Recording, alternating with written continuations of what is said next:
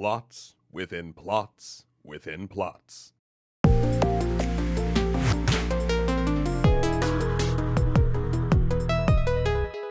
Now, the biggest Dune buffs among you probably know the real quote from the book is plans within plans within plans.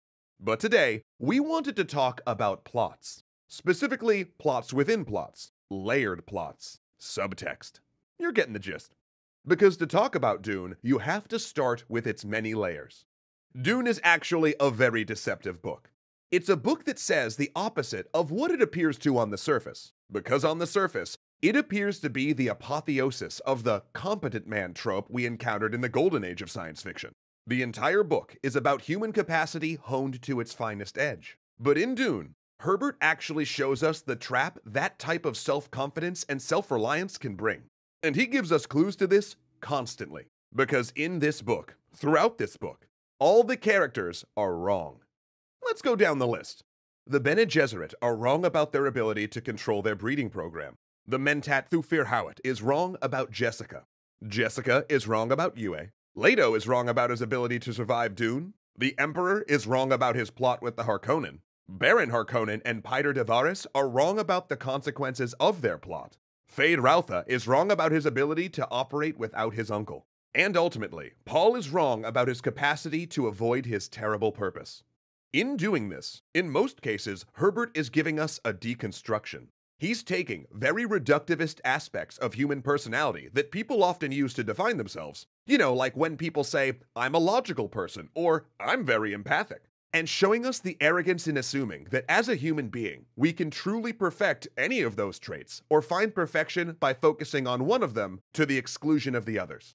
A highly logical human being who doesn't care about being empathic is destructive to themselves and those around them as is an empathic person who refuses to utilize logic or consider rational realities when trying to help those they empathize with.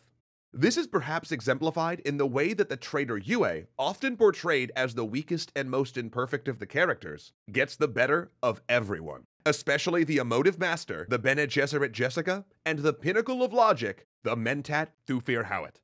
Yueh manipulates Jessica by knowing that she values her emotional perception so highly. He knows that she will read his emotions, but that itself is her weakness. Yueh sets her up to think any strange emotion of his that she may read is simply the result of his embarrassment over treating her informally in a moment of exhaustion, so she doesn't see his treachery.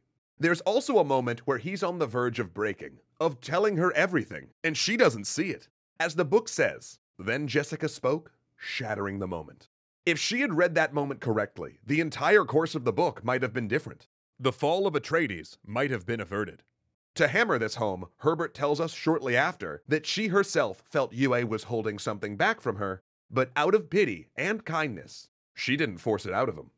On the other side, there's Thufir Hawat. He's a mentat, part of the school of humanity that has refined their logic to supercomputing levels. And he too doesn't see the fact that Yueh is the traitor, but for completely different reasons. He never questions the assumptions he bases his logic on. He knows that Yueh has undergone Suk school conditioning, a type of mental conditioning for doctors that's supposed to ensure they don't harm their patients. He assumes that this conditioning is unbreakable and builds all of his reasoning off that. But as we know, this is false. And if you build all your logic off a faulty premise, all that logic you've trained yourself for is worse than useless. But since it's logically consistent, if you're a person who favors logic, it's easy to convince yourself it's true.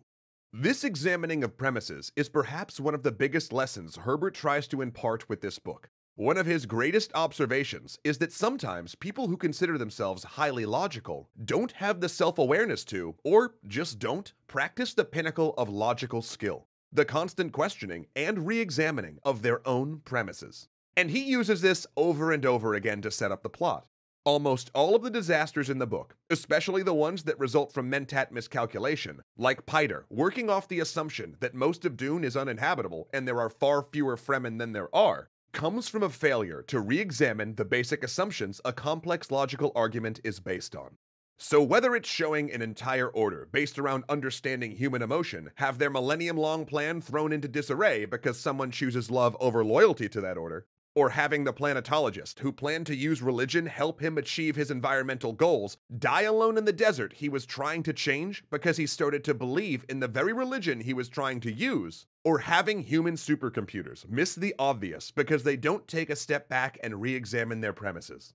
Herbert was intent on using his characters not to show how awesome it would be to have superpowers, but the flaws in believing that any one aspect of who we are, no matter how refined, can actually make us superhuman, showing that very refinement may blind us. This, though, is just the first of three warnings Dune is built around. So join us next time as we begin to explore the most superhuman and, spoiler alert, eventually the literal blindest character of all of them, Paul Atreides, as we explore the second warning Herbert offers. Because, like in myths of old, the power of prophecy here isn't a blessing, but a curse.